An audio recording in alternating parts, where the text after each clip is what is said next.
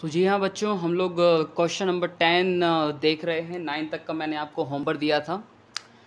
तो जिस तरह से आपको दिख रहा होगा कि यहाँ लिखा हुआ है कि in triangle P Q R जहाँ पे ट्राइंगल पी क्यू आर एक राइट एंगल ट्राइंगल है और क्यू पर राइट एंगल बन रहा है। Sum of two side are given to you and one single side is also given to you so आपको मालूम करना है, ज्ञात करना है साइन पी कॉस पी और टेन पी की वैल्यू ठीक है ना? तो सबसे पहले हम लोग ड्राइंग बना लेते हैं, ठीक है? और ड्राइंग बना के अपना जो राइट एंगल है, वो हम बना लेंगे वेयर वो हम बना लेंगे क्यू पर, ठीक है? ये रहा हमारा क्यू तो ऑब्वियसली ये हो जाएगा पी और ये हो जाएगा आर तो ये हो गया हमारा right angle triangle P Q R ठीक है?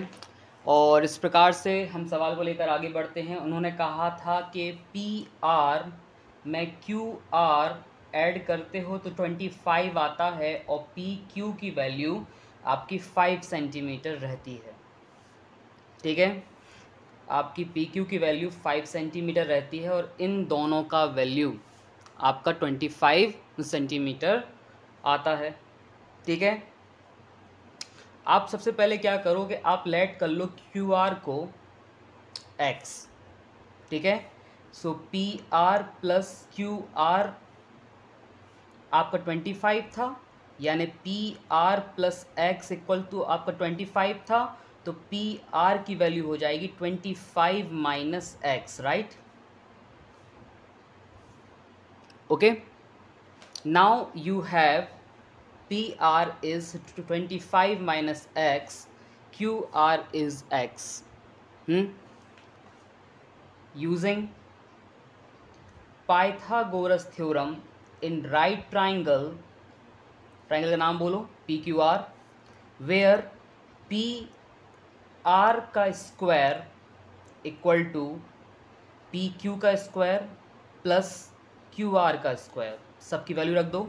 P Q is five Q R is X दोनों का स्क्वायर किया, और इधर हो जाएगा ट्वेंटी फाइव माइनस एक्स का होल स्क्वायर तो ये हो जाएगा six twenty five plus X square minus two multiply by twenty five multiply by X A square plus B square minus two A B का फॉर्मूला रखने पर. Five का square होता है six twenty five X square की value X square. ठीक है? सब कुछ उस तरफ़ भेज दो। X square minus X square ये हो गया fifty X six twenty five इस तरफ़ दिया हुआ है। उधर का सिक्स ट्वेंटी फाइव इधर आ गया। ज़ीरो बचा वहाँ। ठीक है? ये दोनों कट गए। ये दोनों कट गए। हाउ पॉसिबल वेट असल में ये आपका फाइव का स्क्वायर होना था ट्वेंटी फाइव तो जब उधर पे ट्वेंटी फाइव जाएगा तो सिक्स ट्वेंटी फाइव से ट्वेंटी फाइव माइनस होगा। तो रिज़ल्ट देगा आपका सिक्स हंड्रेड वो भी प्लस का। और ये रिज़ल्ट आया fifty X equal to zero six hundred equal to कितना हो जाएगा? Fifty X six hundred equal divide by fifty ये कितनी वैल्यू आ जाएगी? बारह। एक्स की वैल्यू आ गई बारह। ठीक है? आपको पी आर और क्यू आर आपका आ जाएगा।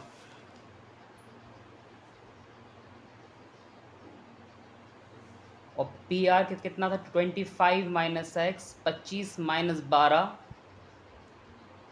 ठीक है? और गिवन है आपका पी क्यू ठीक है? इन तीनों वैल्यूज़ का यूज़ करके बाकी निकाल लो। उन्होंने बोला था साइन पी निकालना कॉस पी निकालना और टेन पी निकालना। ठीक है?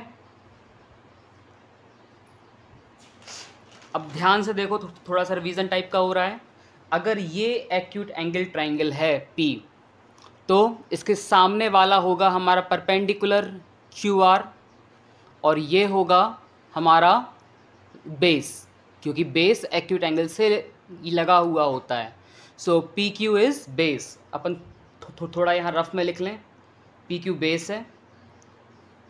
फ़ी के रिस्पेक्ट में। ठीक है? क्यू आर कौन है? परपेंडिकुलर है। और पी पी आर क्या है? हाइपोटेन्यूज है राइट तो ये हमारा रफ हमको यूज़फुल होगा। ठीक है? आइए वहाँ चलते हैं। तो साइन पी का मतलब होता है perpendicular divide by hypotenuse base upon hypotenuse और परपेंडिकुलर अपॉन हाइपोटेनियस ठीक है? तो आपको इनकी वैल्यू ले लेनी है। वहाँ पे परपेंडिकुलर हमारा हिंट में था क्यू आर और पी आर इज़ हाइपटेनियस। ठीक है? बेस वॉज़ पी क्यू तो Q R divide by P Q इनकी आप वैल्यू लिखिए, यही आपके आंसर्स होंगे। ठीक है? सो क्यू आर कितना है? ट्वेल्व है। पी आर कितना है? थर्टीन है। पी क्यू फाइव है पी आर थर्टीन है, और ये आपका ट्वेल्व अपॉन फाइव है। ये रेशियोज़ हैं इनमें सेंटीमीटर वगैरह ऐसी यूनिट्स नहीं आती। ठीक है? तो ये सब मैं आपको दिखाना चाहूँगा, आप इसको नोट कर लेना। सब यहाँ से स्टार्ट हुआ था। ठीक है? मैं इसका आपको पी डी एफ़ भी सेंड कर दूँगा इकट्ठा।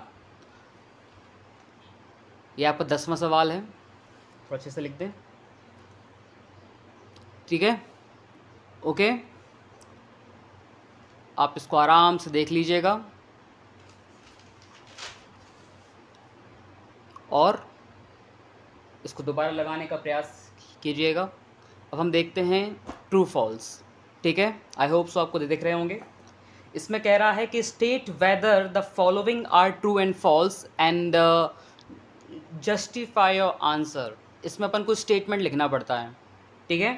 एग्ज़ाम में नहीं आता ये जस्टिफाई करने के लिए, लेकिन आपको मालूम होना चाहिए कि how to justify value of tan A is always less than one ठीक है? क्यों ना अभी एक काम करते हैं? अभी हम एक काम करते हैं कि सबसे पहले अपने कुछ एक्सरसाइजेस वर्क वगैरह है, वो पहले कर लेते हैं। एट पॉइंट थ्री तक पूरा कर लेते हैं। फिर आपकी ट्रू फॉल्स जो हैं जो जो पूरे जम्बल्ड हैं पूरे चैप्टर से आ, मतलब दिखते हुए प्रतीत हो रहे हैं तो ये अपन कर लेंगे। ठीक है? चलो।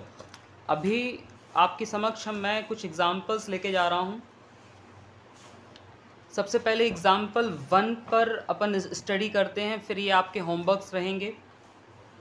सिंपल है आपको टेन ए की वैल्यू दी है फोर अपॉन थ्री आप परपेंडिकुलर अपॉन बेस को आप फोर अपॉन थ्री के इक्वल रख के परपेंडिकुलर को फोर एक्स और बेस को थ्री एक्स मान लीजिएगा, ऐसा सवाल अपन पिछले वीडियो में लगा चुके हैं। उसकी वैल्यू से आप हाइपोटेनियस निकाल लेना, ठीक है? आप फोर एक्स और ये जो थ्री एक्स है, इसकी मदद से आप ना परपेंडिकुलर निकाल ले सॉरी हाइपोटेनियस निकाल लेना, वो आपका फाइव एक्स आएगा। फिर जो बाकी के टिक्नोमेट्रिक रेशियो हैं टेन के अलावा क्या बचता है? साइन, कॉस, कॉट कोसैक और सैक है ना? तो ये आप लोग निकाल सकते हैं। ठीक है? तो ये आपका बहुत इजी वाला है, ऐसा सवाल अपन पहले कर चुके हैं। ठीक है?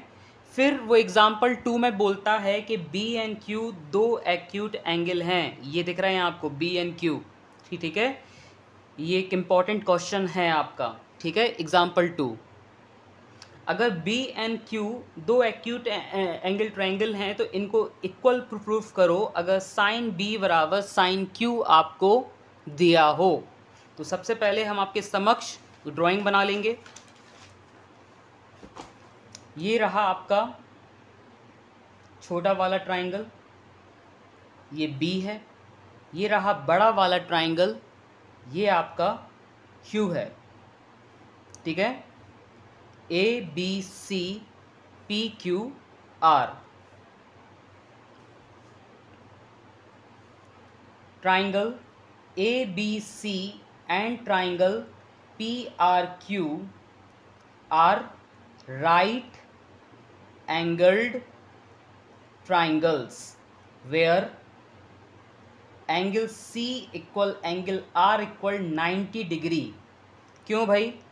क्योंकि वो आपके राइट एंगल ट्राइंगल के राइट एंगल्स हैं, ऐसा आपका डायग्राम आपसे बोलता है। ठीक है?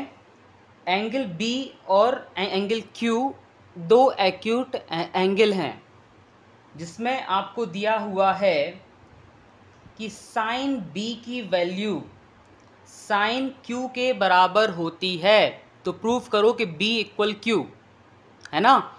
तो आप जानते हैं कि साइन बी की वैल्यू होती है परपेंडिकुलर डिवाइड बाय हाइपोटेनियस तो बी के सापेक्ष परपेंडिकुलर होगा हमारा ए सी ठीक है? और हाइपोटेनियस होगा हमारा ए बी और इसके सापेक्ष परपेंडिकुलर होगा हमारा पी आर और हाइपोटेनियस होगा हमारा पी क्यू ऑल राइट ठीक है? अब हम इसमें ज़रा सा क्रॉस मल्टीप्लाई कर दें. A C divide by P R equal A B divide by P Q equal में आप एक्स मान लो. ठीक? ऐसा करने से आपको इस कहानी से ये शिक्षा मिलती है कि क्या होता है कि पी आर का मल्टीप्लाई इधर कर दो, ए बी का मल्टीप्लाई इधर कर दो, या फिर इनको अल्टी पल्टी कर दो। समझ रहे हो? या आप दोनों तरफ़ आप पी आर से डिवाइड दे दीजिए। तो इधर पे मतलब जब पी आर आएगा तो पी आर से पी आर कैंसिल हो जाएगा और यहाँ पे एक नया पी आर बढ़ जाएगा। और ए बी से मल्टीप्लाई कर दिए दोनों तरफ़ तो जो ऊपर बढ़ेगा वो ए बी से इस ए बी को काट देगा और ऊपर यहाँ पे ए बी बढ़ जाएगा। है ना? तो इस तरह का अब आपको मिल गया। अब ज़रा इस ट्राइंगल में कल्पना करो कि परपेंडिकुलर अपॉन परपेंडिकुलर इनका एक प्रोपोर्शन हमको इक्वल दिया हुआ है।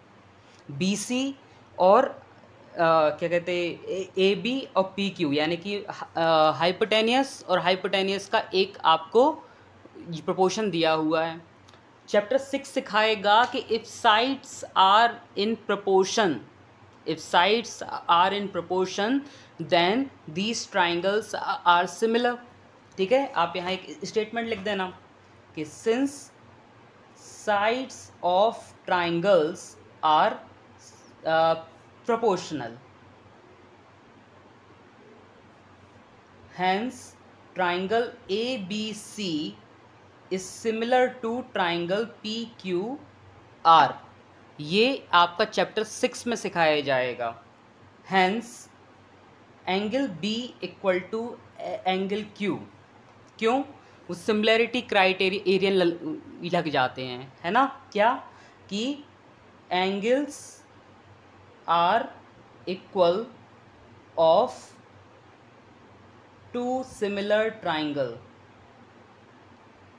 ये सवाल थोड़ा सा सर के ऊपर से क्या होगा कि जब मैं आपको चैप्टर सिक्स कराऊँगा ना जब इस सवाल को मैं आपको दोबारा बताऊँगा। अभी फ़िलहाल को इतना है। आइए दोबारा देखते हैं। सबसे पहले दो ट्राइंगलों को बनाया, फिर मैंने ये बताया कि जो राइट एंगल है, वो सी और आर पे बन रहे हैं, यानी कि सी और आर हमारे बराबर हैं, ठीक है? और ये साइड्स हमारी मतलब प्रोपोर्शनेट हैं, क्योंकि साइन बी और साइन क्यू आपस में इक्वल हैं। तो इनके जो फॉर्मूले होते हैं perpendicular upon hypotenuse perpendicular upon hypotenuse P R इधर ले गए ए बी इधर ले गए इसको एक्स के बराबर मान लिया, यानी कि एक सेम सेम रेशियो मान लिया, एक प्रोपोर्शन मान लिया। फिर इसमें ये बताया कि जब हमारे साइड्स प्रोपोर्शनल होती हैं तो ट्राइंगल सिमिलर होते हैं और सिमिलर ट्राइंगल के एंगल इक्वल होते हैं। ये अपन ने स्टेटमेंट दिया, ये अपना प्रूव्ड हो गया। इतना कराइएगा। बुक में थोड़ा बढ़ा दिया है, वो थोड़ा सी बी एस ई के स्तर का है, आप सिर्फ़ इतना कराइएगा। ठीक है हम्म। उन्होंने क्या है कि जो थर्ड साइड है ना उसको भी उन्होंने ले, ले, ले लिया है बाय वो पाइथागोरस थ्योरम ठीक है? तो जब मैं आपको सिमिलर ट्राइंगल बताऊँगा तो इतना भी मतलब पोर्शन उसमें सिखा दूँगा। अभी फ़िलहाल को अभी इतनी ही प्रैक्टिस करिए और महान बनिए। एग्ज़ाम्पल थ्री पर अब हम ज़िक्र करते हैं। एग्ज़ाम्पल थ्री कहता है कि consider triangle A C B आप इस ट्राइंगल को जरा कंसिडर करिए, इसमें बी एक एक्यूट एंगल ट्राइंगल है और दो साइडों की वैल्यू दी हुई है ट्वेंटी नाइन और ट्वेंटी वन यानी हाइपोटेनिस और परपेंड बेस की वैल्यू आपको दी हुई है। आपको परपेंडिकुलर की वैल्यू निकालनी है। You can find by using your Pythagoras theorem ये आपने पाइथागोरस थ्योरम से ये निकाल लिया। अब आपको cos square theta plus sine square theta की वैल्यू निकालनी तो सबसे पहले आप कॉस थीटा और साइन थीटा की वैल्यू निकालिए। जो कि आपकी वैल्यू आएँगी twenty divide by twenty nine और twenty one divide by twenty nine ठीक है? फिर इसे आप इस स्क्वायर वाले स्टेटमेंट में वैल्यू पुट कर दीजिए, दोनों के स्क्वायर ऐड करने पर आपका आंसर आएगा वन तो आपकी पहले वाले की वैल्यू हो जाएगी वन और दूसरे वाले की वैल्यू हो जाएगी forty one divide by eight forty one तो ये आपका होमवर्क होंगे सारे एग्जाम्पल्स आप लोग सॉल्व करिएगा। सिंपल है तो पाइथागोरस थ्योरम यूज़ हुआ है, ठीक है? इसके बाद आपका एग्ज़ाम्पल फोर वहाँ पे आएगा। यहाँ आपको sine A into cos A का two times equal to one होता है। तो पहले आपको साइन ए और कॉस ए की वैल्यू चाहिए, जो कि इस राइट एंगल ट्रायंगल के थ्रू आपको मिलेगी। कब मिलेगी? जब आपको टेन ए की वैल्यू वन दी हो। ठीक है? जब आपको टेन ए की वैल्यू वन दी हो तो टेन ए की वैल्यू वन तब होती है आपकी जब आपका परपेंडिकुलर और बेस सेम हो ठीक है? ओके परपेंडिकुलर और बेस आप आ, आपका सेम हो क्योंकि परपेंडिकुलर अपॉन बेस हो, होता है हमारा टेन अगर ए बी और बी सी बराबर होंगे तो ये आपके मतलब जो एक रेशियो निकल के आता है कि परपेंडिकुलर और बेस इस ए के सापेक्ष होगा मतलब B C upon A B जब दोनों सेम होंगे तो ये आपके कैंसिल हो जाएँगे। है ना? यानी कि वो दोनों आपके मतलब बराबर हैं। अगर ये दोनों बराबर हैं तो आप पाइथागोरस थ्योरम का यूज़ करके ये निकाल सकते हो कि ए बी और बी बी सी दो, दोनों की वैल्यू के है। पाइथागोरस थ्योरम से हमने अपना हाइपोटेनिस निकाल लिया के रूट टू ठीक है? अब आपको साइन ए और कॉस ए की वैल्यू वहाँ पे लगनी है। आपने इस तरह से ये ये निकाल दिया और उसमें, उसके LHS में वैल्यू रख के आपने आरएचएस उसको प्रूफ कर दिया। ठीक है? ये करने का प्रयास कीजिएगा, उसके पहले एट पॉइंट वन लगाइएगा, आपको समझ में आना चालू हो जाएगा। ठीक है? नहीं बनेगा तो फिर मैं बताऊँगा। एग्ज़ाम्पल फाइव एग्ज़ाम्पल फाइव कहता है कि in right angle triangle O P Q where P is eight मतलब is the right angle triangle I mean is N is the right angle O P is seven O Q minus P Q अभी अपन ने एक plus वाला सवाल लगाया था ना ये वाला है ना? बिल्कुल उसी के जैसा है। मैं, मैंने इसमें क्यू आर लेट कर लिया था आप इसमें एक काम करिएगा ओ क्यू लेट कर लीजिएगा या फिर मतलब पी क्यू लेट कर लीजिएगा आपकी अगली वैल्यू ऑटोमेटिकली आ जाएगी और जो इन, इन लोगों ने जिस तरह से लगाया है आप मतलब वो काम भी कर सकते हैं कि इन्होंने क्या किया है ओ क्यू के इक्वल में ये पी क्यू उस तरफ़ ले गए राइट हैंड तरफ़ तो हो गया one plus P P Q तो इधर वन प्लस पी क्यू लिख दिया ओ क्यू की जगह ठीक है? ये P P Q P Q आपके दोनों तरफ़ हैं इसमें ए प्लस बी का होल स्क्वायर का फॉर्मूला रखा ये आपके कैंसिल हो जाएँगे one plus two P Q equal to seven का स्क्वायर हो जाएगा। सॉल्व करेंगे तो आपको पी क्यू की वैल्यू आपको ट्वेंटी फाइव सेंटीमीटर मिल जाएगी और वैल्यू पुट करेंगे तो आपकी इसकी वैल्यू ट्वेंटी फाइव आ जाएगी। फिर बाकी के जो रिमेनिंग टिग्नोमेट्रिक रेशियोज़ हैं, वो आप निकाल सकते हैं। बहुत ही सिंपल सवाल है। ज़्यादा के लिए एग्ज़ाम्पल टेन को क्वेश्चन टेन को आप कंसिडर करिएगा, आपकी समझ में आना चालू हो जाएगा। ठीक है? अभी मैं इसके आपको वो दे देता हूँ पी तब तक के लिए बाय अगले वीडियो में हम एट पॉइंट टू को डिस्कस करेंगे। ठीक है? Bye bye